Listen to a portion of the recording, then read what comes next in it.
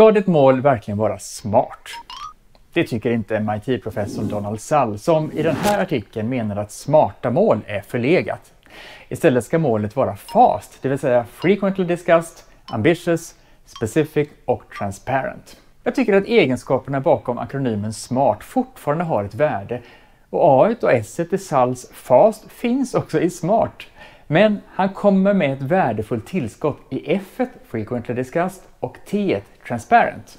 Om målet är frekvent diskuterat faller det inte så lätt i glömska. Då är chansen större att det spelar in när du prioriterar. Du väljer mer att göra det som leder till målet och du når det lättare.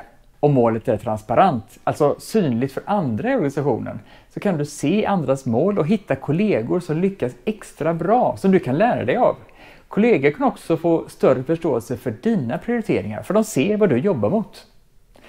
Du kan göra målet mer frekvent diskuterat om du sätter det med kortare tidsperspektiv så att du stämmer av det oftare och om du påminner dig om det ofta.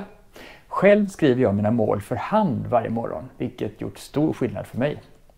Transparent då? Jo, visa dina mål för dina kollegor och berätta för dem vad du främst fokuserar på nu så ökar förståelsen er emellan. Hur har du gjort dina mål mer fast? Berätta!